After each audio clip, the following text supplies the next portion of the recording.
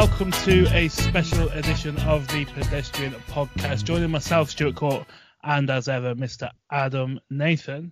That's where you say hello, Adam. Hi, Stuart. how, how you doing? I thought we were going straight into the chat, but that's okay.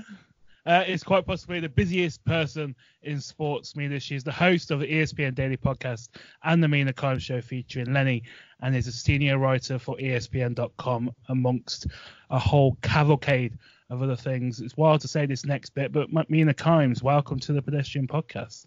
Hi, thank you for having me.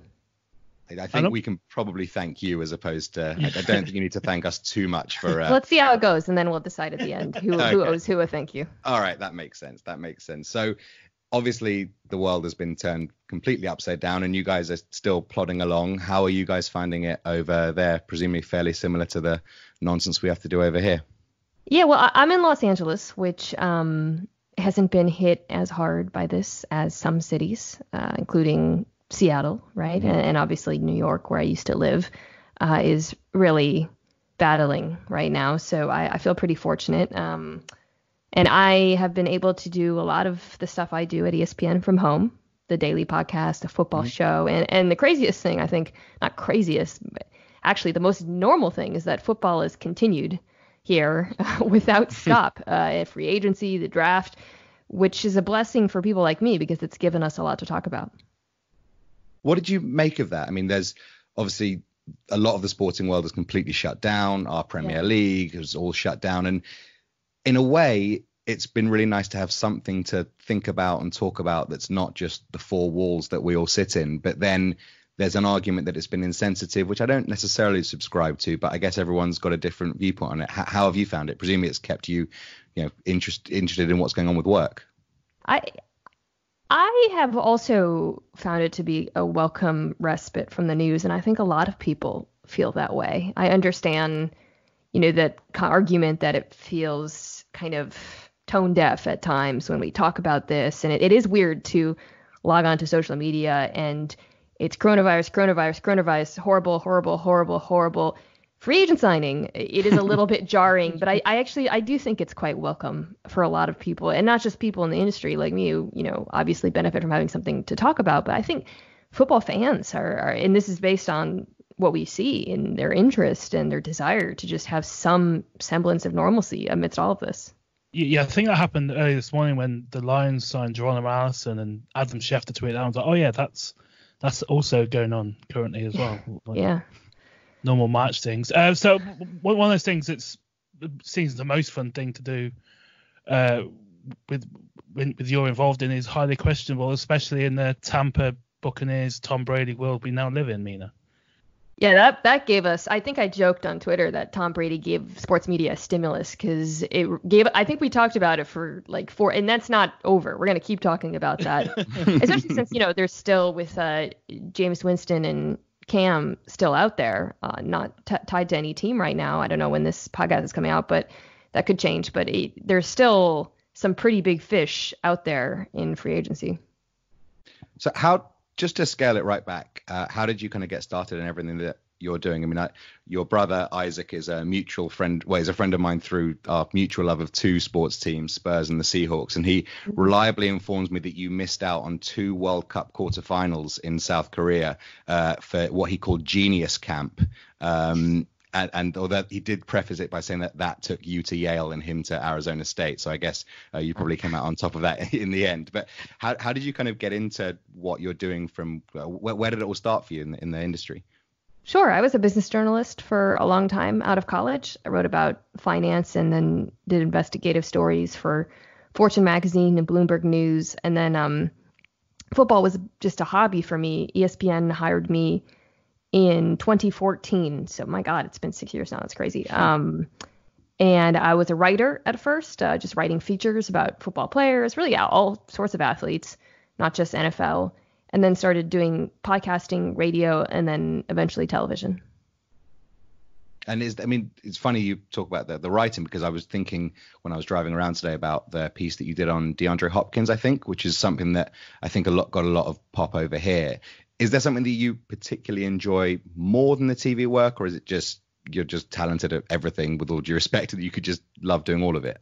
That's very kind of you. I, I, I just enjoy uh, talking about football the most. I, I mean, I enjoy all the things I do a lot, but you know, I got into ESPN because I loved football, uh, and I think I'm kind of lucky in that I was actually late to working in it because I haven't had that beaten out of me yet. Like I still am a fan at heart. Mm-hmm. Um, it's a little bit harder, right? I was thinking about so last week I guess it was Thursday. Yeah, Jesus, I've lost all track. There's no days anymore. There's no. I know. What is the weekend? what is the morning? What is night? um, just social constructs. Um, yeah. So I, I think it was Thursday. I watched the end of Super Bowl 49 with the guys at PFF for charity, which I had not watched in its entirety. Uh, the fourth quarter of the Seahawks Patriots Super Bowl since it happened. And I remembered vividly that week it was I had started working at ESPN, but I wasn't really an analyst back then. I was just a writer.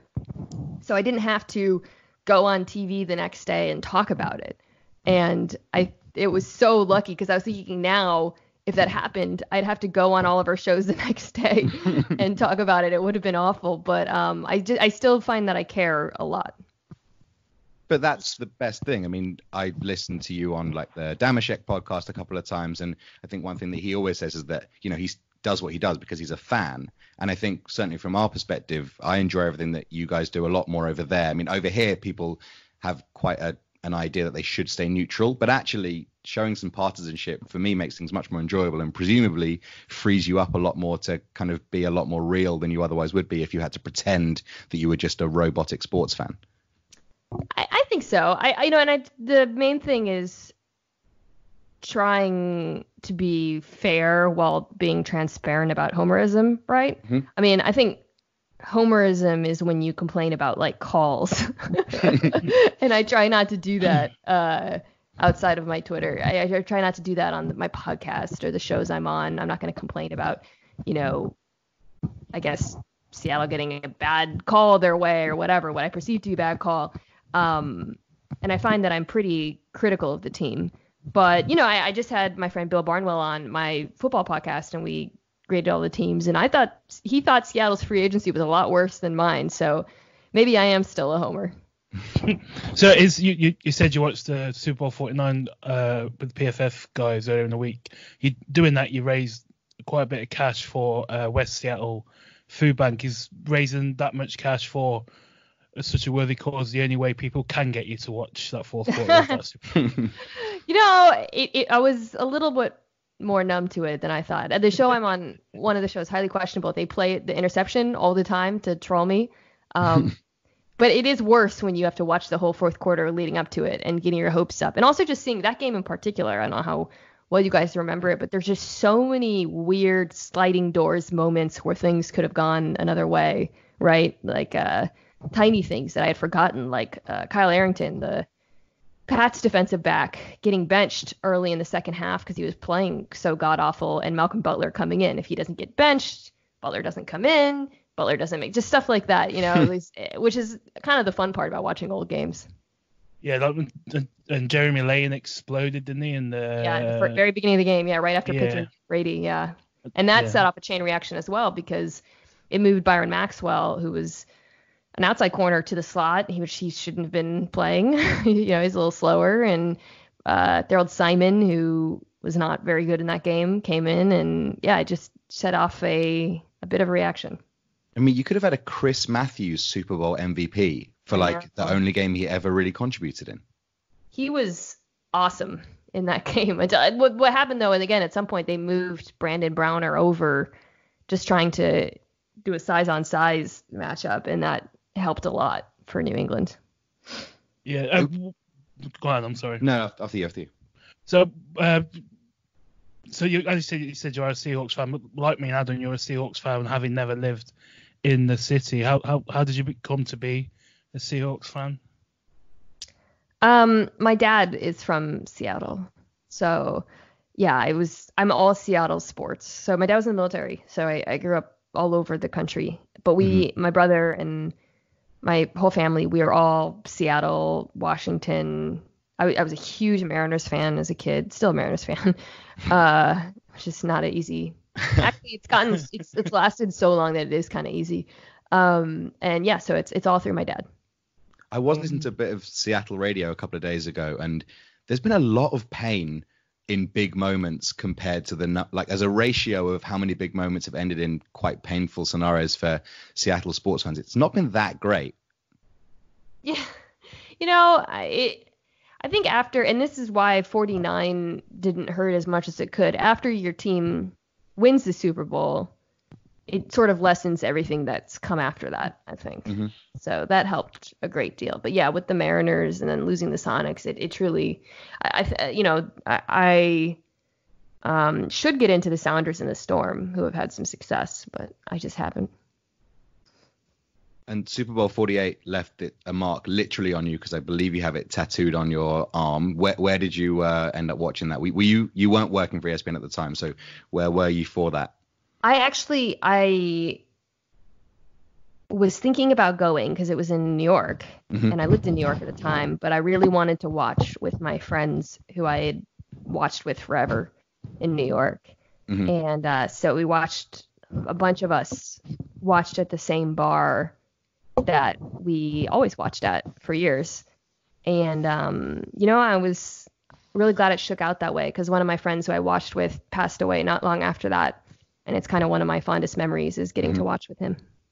I did a similar thing. I ended up flying. My the reason I'm a Seattle fan is that uh, my aunt had to move there uh, as kind of a, a, Microsoft wife from the UK about 25 years ago, and uh, I decided in October of that year that we were going to win the Super Bowl and be in it. So I wanted to be in Seattle for it. So if you ever speak to Richard Sherman, please thank him on my behalf because he saved that entire two and a half week trip planned for.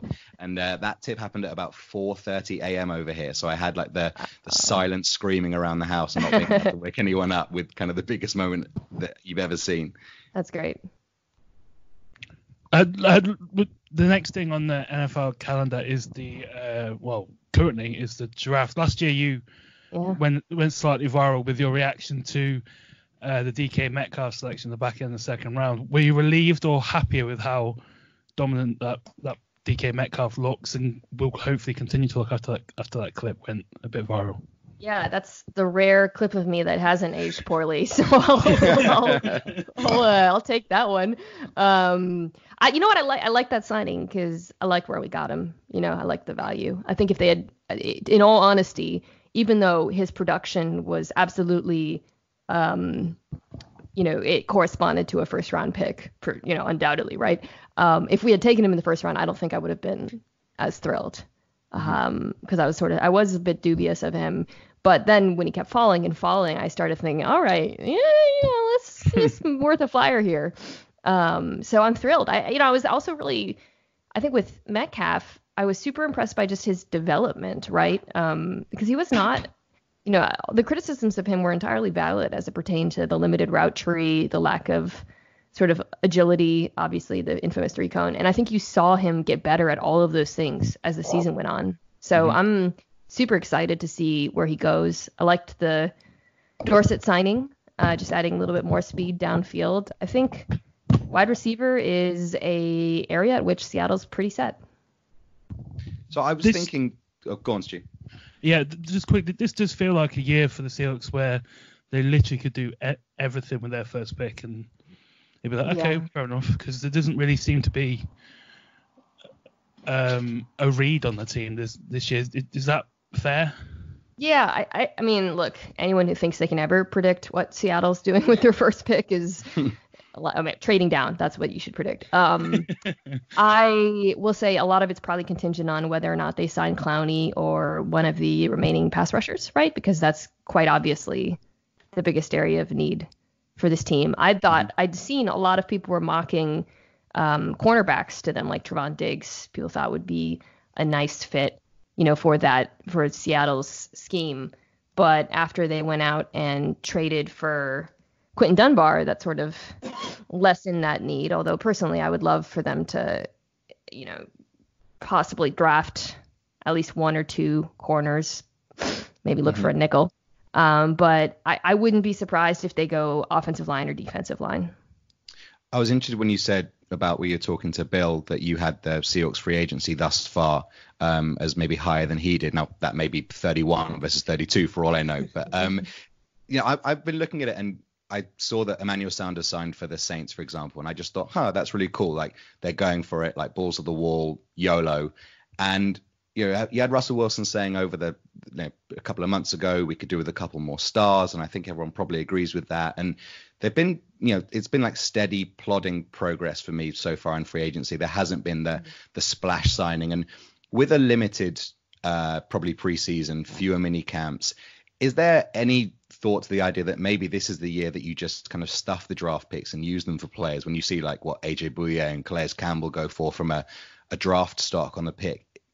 Do you think there could be a, a bit more aggression, or are you kind of happy with, with the way in which they're going so far? Well, I think Bill's always he's he's right to point out that you know generally, and this isn't really what's been happening with Seattle, but if your team's spending a lot in free agency, you've already lost, right? Mm-hmm. Um, because typically if players are available in free agency, there's a reason, and very the best players in the NFL never reach that, and the good teams are able to, you know, promote internally and find players in the draft. Um, with Seattle, I think he just didn't like some of the particular players they had brought back. We had a little bit of a like I, I Jarran Reed was I think a player we disagreed about because mm-hmm. um, you know he was not good last year when he came mm-hmm. back, but being a Seattle fan, I felt that he was, you know, extremely good the years before. Yeah. It's also a two-year, $23 million deal, so he'll be up again. So, um, which was the case a lot in the free agency this year, by the way, a lot of two and three-year deals. But I, um, I think that to go to your point about your question, I guess about sort of approaching what's going to be a very weird off season and debating whether to aggressively try to fill your needs in a free agency versus the draft. It really just depends on your timeline. Like I, mm-hmm. I think a team like Seattle's done always done a really good job, I think, of trying to do both, you know, mm-hmm. um, at the same time, which is something the good teams do. I think that that short term and that's simultaneous short and long term building. I think the Saints are uniquely they don't really think about the future that much, but they've been blessed with some really strong drafts, much stronger than Seattle's, that have allowed them to kind of keep doing that recently. Um, but I, I feel like Seattle's walked that line pretty well. Now, if they don't sign a top tier pass rusher, that would be pretty disappointing. So it doesn't have to be Clowney necessarily, right? Mm-hmm. But it does feel like they need to do something outside of just hand, handling it in the draft yeah, there was a few of these free agency signs, especially BJ Finney, who is kind of like, well, I have no idea who that is or where he plays, Adam. Uh, yeah, I feel like if someone had said Adam Nathan has signed for the Seahawks to play yeah. offensive tackle four million a year, fans would be like, yeah, strengthen no, that line. Nobody knows any of the offensive linemen, right? no. Like Brandon Shell or whatever, or Finney. Finney was apparently decent. I, I just ask, you just ask people who watch their old teams. He's um, way, an actual ton, isn't he? An actual ton sounds about right. Yeah. yeah. Also, just you know, with offensive linemen, I think most of the time we're not very good at evaluating them, mm-hmm. especially if it's a player on a bad line. Yeah. Um, yeah. So. I mean, it, oh. this it, it'll seem weird to kind of try and contextualize sport with what's going on in the modern world, uh, you know, the virus world that we're living in at the moment. But I kind of feel like the idea of looking you know three four years to the future it might be the kind of thing that human beings just don't do anymore given what you know all of a sudden you snap your fingers and the world turns on its head. Do you think there might be an element of people try to be a bit more win now in sport? And not you know maybe not necessarily just the NFL but just like you know we don't know what's coming next month. So if we can do it especially if you've got you you know you have the most important piece like a quarterback like Russell Wilson is there the idea like let's just go for it because who knows what next year is going to bring so sign an elite pass rusher because we're all gonna get the virus. yeah, so, that's it. No, I, I think um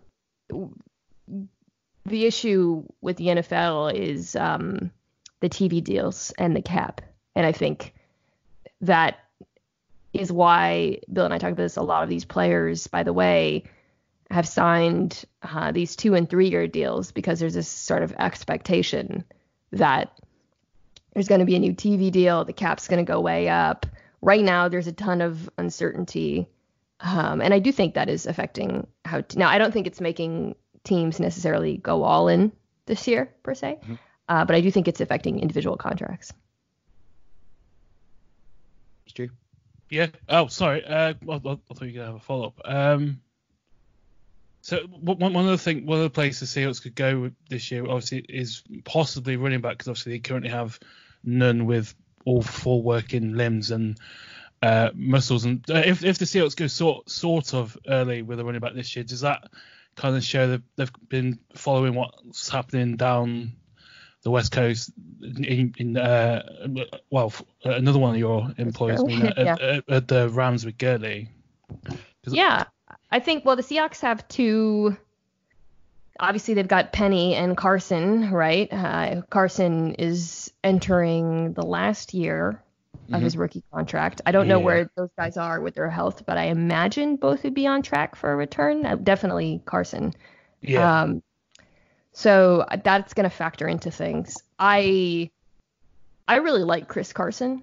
I am obviously part of the, you know, don't pay running backs a ton of money, always be mm-hmm. drafting late round running backs camp, but I think he is actually a pretty unique talent. So I w- I wouldn't be disappointed if they try to find some way to keep him, obviously without, you know, paying any sort of premium salary. I think he actually is just such a great fit for the team as mm. well. Um, so we'll see. I, I my I, Seattle has obviously handled the position differently from what, how I would in the past, but my preference would be for them to try to find a way to keep him and also, you know, again, maybe drafting a later round option. You've yeah. been quite kind of out in front of that on the analytics side of running and the, the value of that and passing and you've managed to do it in not a way that makes anyone that doesn't quite get it feel like a complete idiot um, now it, it would seem like obviously it's a pass league you need to pass you need to pass you need to pass but presumably as teams have to alter their plan to do that that would feasibly open up other areas because you know it's i guess it's like a a blanket that you can't fill the whole field at all times so do you do the top or the bottom is there kind of a an idea in the analytics community that there's something coming after this pass heavy, pass to win system, or is it just going to be seen as this is the way to do it and that's how you should do it? Well, it's it's been interesting to watch teams like San Francisco and Baltimore, I think, sort of evolve.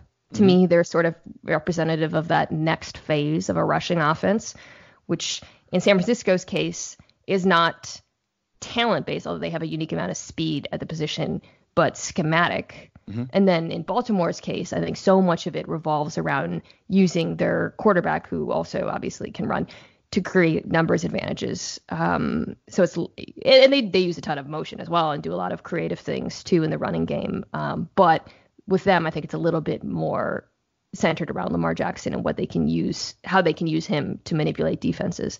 Um, so I think it's easy to point to those teams and say that's the future, but most teams in the NFL do not have Kyle Shanahan and Lamar Jackson. So um, unless you do have those things, I, I think uh, maybe you know, and maybe we'll start seeing more elements of that Shanahanian offense around the league. But I think um, those are pretty unique examples.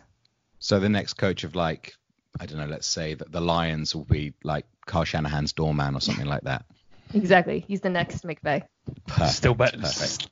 Still better than Patricia, to be quite yeah, honest. Not, not wrong. Not wrong.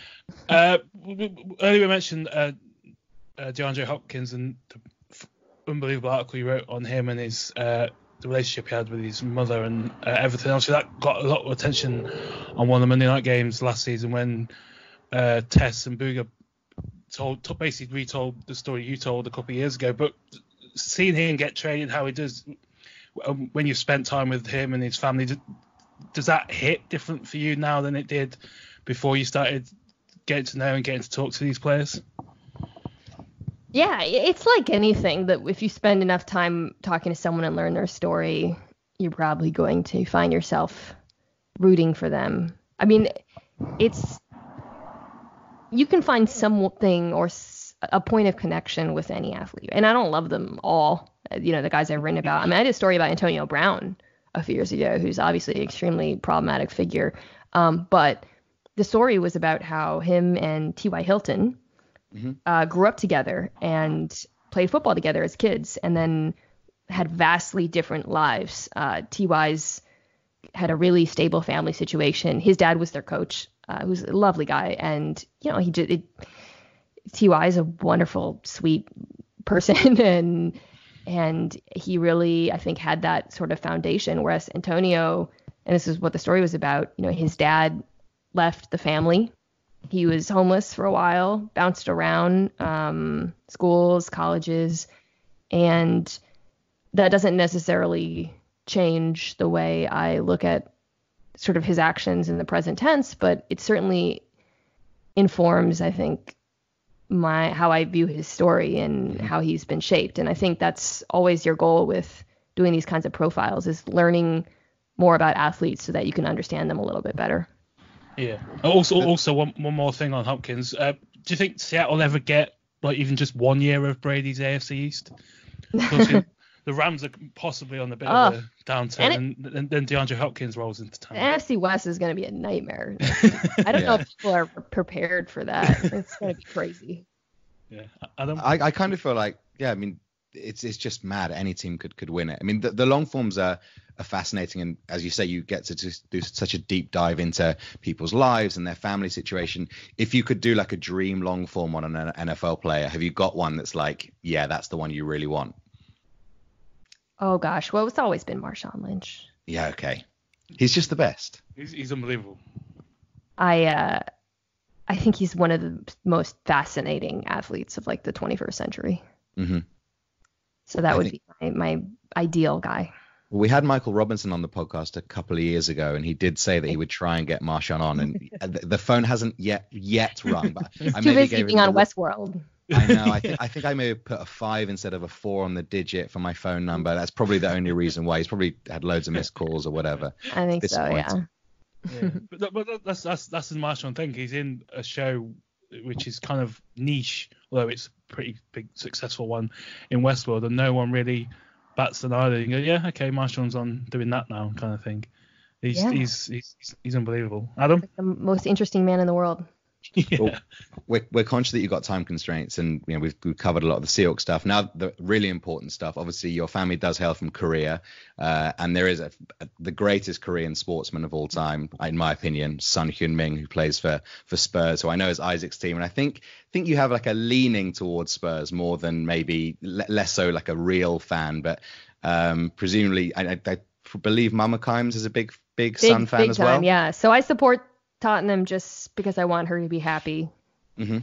I don't follow, you know, EPL super closely, but uh, every now and then I do watch if there's like a big match or something. Although the time zone here is not kind. I mean, I have to say the only good thing about the pandemic so far is that there hasn't been Spurs to follow. so I'd if, if, you if you want them to win for your mum, yeah, if you want them to win for your mum to be happy, I would probably suggest that that's uh, not not the finest team that she could. Have. Hopefully, Son can move on to greener pastures for the sake oh. of your mum's uh, your mum's well-being.